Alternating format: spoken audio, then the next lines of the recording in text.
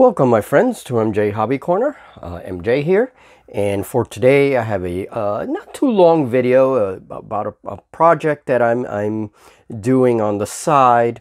Uh, as you have noticed, we, you've probably noticed that we're doing a lot more games on the channel now and that's because well there are a lot of games that we want to try out and, and put on the channel for future. Um, and a lot of my scratch building projects, a lot of my stuff is going moving over to Patreon. Uh, and uh, of course, I have my Scratch Builder monthly, which is a perk that uh, patron members get in the second tier. And that's about a 30 page uh, document and it's all about scratch building. And there I just write up all my projects and, and it's meant to be a companion to the videos. It doesn't work against the videos necessarily. It's, it's a companion. It is, allows me to write down and gather my thoughts about a lot of these projects. Okay, so that's on Patreon. However, I do want to announce that I may open up a War Games Vault uh, little store shop very soon. And so uh, there is a version of Scratch Builder Monthly that will probably go on War Games Vault, okay? And I'll probably charge a dollar or, or two dollars at most. And uh, that version of Scratch Builder Monthly is going to be a little different from the Patreon one in that I'm going to include a, a few extra stuff. It's going to be a little bit more robust, but the stuff is extra. And whereas the Patreon one uh, is going to be more uh, geared towards the actual scratch build uh, projects. I think what I'll do is for the Wargames Vault, uh, you will see some written battle reports with the scratch builds in them. And that's the point, is to show the scratch builds being used, okay? And it, all of the stuff is very low budget uh, very low budget scratch builds, etc., etc. So I wanted to make that announcement here on the channel.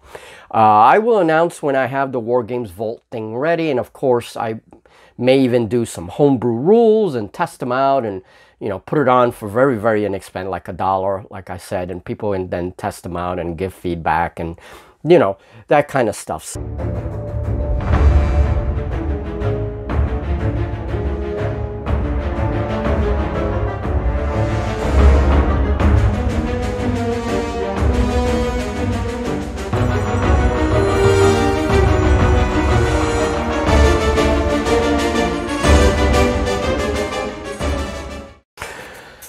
So I'm making this rock work and I use some foam as my armature or my skeleton, right?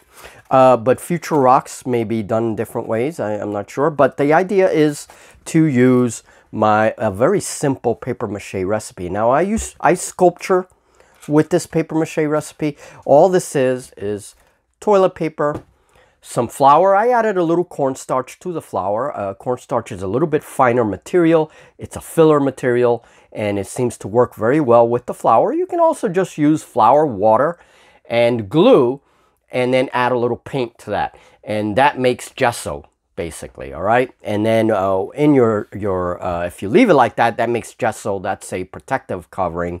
A lot of builders now use gesso to cover the foam and then they paint over the foam and all that good stuff, okay? Uh, but we're gonna go a step further from the gesso. There are many different um, gesso recipes out there. But uh, we're going to add some toilet paper to that and we're not going to boil it. Okay, there are paper mache recipes that where you boil it and when you do, you make a nice dough-like substance. You can also make it more watery, less watery, you know, depending on the different recipes. So for today, we're going to do something very simple. But before, uh, here is an angler fish that I sculpted with the paper mache, okay? And uh, I haven't finished this guy. We are going to add some stuff here on the, on the bottom to cover the mouth. Let me just give you a little example. Okay, nice, ugly little dude. And this is going to be for Deep Wars. It's also going to be for Julie's Undersea Armies. And of course, this guy has to get painted, right? He can't stay like that. Um, and so this is made with a tin foil armature in there, an egg-shaped uh, tinfoil piece, glue the, two, the cocktail stick to that tinfoil piece, and then sculpture the paper mache around the tinfoil. Now the tail also has tinfoil, okay? So all the paper mache is then added and sculpted and make a rough fish shape. And it works very well for these kinds of fish because they're so ugly, okay? Recipe, we can also make beholders. Okay, and here's this beholder, nice and ugly. Look at that guy. he's nice and ugly. Um, and he has, uh, I haven't dry brushed this yet, okay, but his little eye moves and all that. And this is for my Spelljammer fleet, but it could be used, of course, in any context. And with this paper mache recipe, we can also sculpture. Here is an armature for clay uh, that I made a long time ago. And I, am going to do something with this, uh, not for gaming. It's going to be a display piece, okay?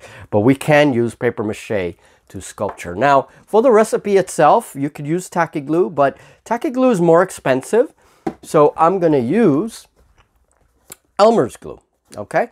And again, this is going to be a short video. I don't want it too long, all right? Uh, so let's just uh, put a few pieces on and show you exactly what I do. So basically I use two tablespoons of the cornstarch and flour. And I have a cup of water here. Uh, I'm going to use much less than a cup. Okay, so that's about a... And so I use a little less than two-thirds of a cup, okay? Um, and I'm just going to mix this a little bit.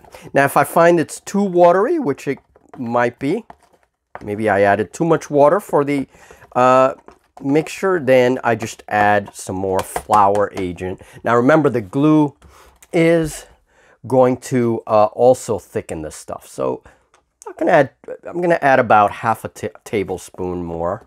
That should make it thick enough. And the important thing is to add the glue. We're doing a little bit of studio cooking here. Could also measure all right, let's measure with the, whoops. And I have a full cup here. These are medicine cups. These are also good for, uh, you know, keeping measurements. I love saving these measuring cups. And I'm just going to pour the whole thing. And it's basically the whole cup, which is about, uh, used about 25 milliliters. Let me see. 25 milliliters, okay? not millimeters, milliliters. I said millimeters uh, accidentally. Okay, and add a little bit of water, get some of that glue out. Melted chocolate. I used purple on this, and that, that's because this was leftover uh, paper mache from the fish, right? And I had extra, and so I decided I'm to use it on some rocks so it doesn't waste right? And so I'm to be redoing a lot of my terrain um, little by little, okay? And uh, so, yeah, it's just a thing. Now, this is to look like chocolate, but yeah, don't eat it. What I do, okay, so I'm to tear my toilet paper apart a little bit and just put in a nice, you know, soak it in there. And this stuff gets really moist fast oh, there's a little bit of glue there, okay? And it becomes very, look at that, okay? Becomes, so again, this method is not for everyone because it is very messy, okay? It is very messy. It's a very messy method. I'm there and just kind of mix it in, okay? And again, if you boil it, it, it, it gives it a whole different consistency. Um, it mixes quite well. It, it's a whole different, it, it depends on what you want it for, all right? I'm not using any kind of boiling for this particular recipe. And uh, I used to sculpture with this stuff. So you can even take it by the spoon and just slap it on. I made just a little bit for demonstration, but of course you want to cover everything. And it becomes a thick paste when you do it okay? Now I have I've added some stones to this um, so I don't want to cover all the stones. I'm going to be try to be careful okay and you let this dry for about 24 hours. It takes about 24 hours in a room temperature to dry. And man it gives you like this really strong covering. And it's excellent for making rocks. However, I'm going to be making uh, trees. I'm going to be redoing all my trees. And I'm going to be re redoing uh, a lot of terrain in the coming months and uh, I'm going to be recycling a lot of the older stuff okay? So I think I'm gonna make my rocks like this from now on. And I have a, a lot of different recipes to explore. Now for sculpting, you don't want it like this. For sculpting, uh, for making the fish, I actually uh, make the paste a lot thicker.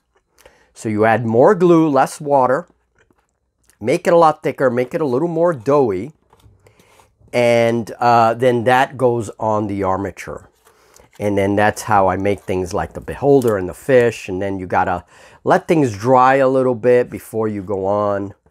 Once they dry, then you continue with the sculpture. A lot of that is to be on my Patreon, folks. Uh, that's for my patrons to uh, to see um, a lot of those techniques. Uh, but you will see stuff here on the channel as well. Okay. So, all right, I'm getting it into all the cracks. And we're going to let this chocolate dry. And uh, another way I do it, instead of using uh, this kind of stuff, this foam, uh, I use tinfoil. And tinfoil works very, very well. I crumble up some balls of tinfoil and that's it. All right. So I made another batch and this one's a lighter uh, tan. I didn't add the chocolatey brown, okay? And uh, with this mix, I went from two thirds, I went down to a half a cup of, uh, so I started with two thirds of a cup of water and then went down to half a cup. And uh, really, if you want to work with just one batch, uh, I would suggest just going straight down to a half a cup of water and then adjust your other uh, ingredients to your liking, you know, it's because if you want it thicker, uh, you definitely want more glue, less water. Um, also, your, your paper is going to make it thicker. So the more uh, toilet paper you use, the, the thicker it'll be. Now for this one, and notice how I'm using the spoon to kind of sculpt it a little bit. Uh, with this one, I used paper towel. Paper towel is a lot thicker, and I mixed it with the toilet paper, and you get a much thicker medium, okay? And so we're going to talk about making trees, uh, big rainforest trees with this stuff. We're going to be making some cave tiles with this stuff. We're going to sculpt some creatures. We're also going to do water. Yes, you heard me correctly, water. We're going to use the same method to sculpture some very low budget water. I'm going to start with some small ponds, move our way up to waterfalls. And this is a technique that I saw on another channel, so I will be giving full credit to that channel. And uh, that'll be for another video okay? So definitely uh, check my patreon check uh, scratch builder monthly magazine. I will probably be putting a version of it on wargames vault. And it will have all these little projects and things that i learned this is a technique that i actually learned from our colleagues in the railroad uh, model hobby so a shout out to all those railroad modelers they do some great work, really. So now that I covered everything, we're going to add some grit. Okay, just to give it a little bit of fine uh, texturing. Um, and uh, this dries quite nicely, and I covered all of the cardboard. Okay, and we can add some larger stones if we want. One of the things I love about this is the texture that this provides. You know, it's very different. Uh, now I'm going to just add a couple of, embed a couple of stones. Okay, just in there. And these are, I got these from the dollar store. They're going to be repainted anyway, so I don't worry about what color they are. They come in gray and like gold. Just kind of embed them in there. Make sure they're embedded. Okay just give a little bit more stony material. Now, once this is finished and painted, we could add our flock, you know, and all that stuff. Now, this is not nothing new, nothing, uh, people have done this many times before, okay? This is not necessarily innovative. As I said, this technique um, originates in the railroad, model railroad hobby for making, you know, uh, cheaper. Sorry, I, I was not on the camera fully. Okay, so uh, yeah, and it's not a technique for everybody, but it does make some really cool stuff. We're going to be talking about a whole bunch of different things that we can make. All right, and I just want to show down here to make these lumps of rock just take the uh, toilet paper and paper towels that are together in the mixture, lump them up, make little meatballs, and then that's how I get these rocks right here, okay? So we're going to let this dry. Now, if you want to speed up the drying process, take a blow dryer and uh, blow dry on high, right? At least five minutes. You're going to have to be there a while. It'll really start to dry everything up. Then let it dry slowly for, you know, uh, whatever amount of time, okay? It will speed it up a lot. So it might be under 24 hours. But if not, just let it be. Let it dry totally until this becomes rock hard. No pun intended. All right, folks, I'm going to finish my chocolatey rock, and you'll probably see it painted. Check the community tab. Thank you so much for your support. Uh, you guys are great. Thank you for being here on my YouTube channel. Um, more things like this in the future, and of course, more creature sculpts and all that. A lot of that stuff is, is moving to Patreon, uh, but you will see stuff here as well on my YouTube channel. All right. Thank you, folks, and we're going to talk very soon. And uh, you enjoy your day. Be safe out there.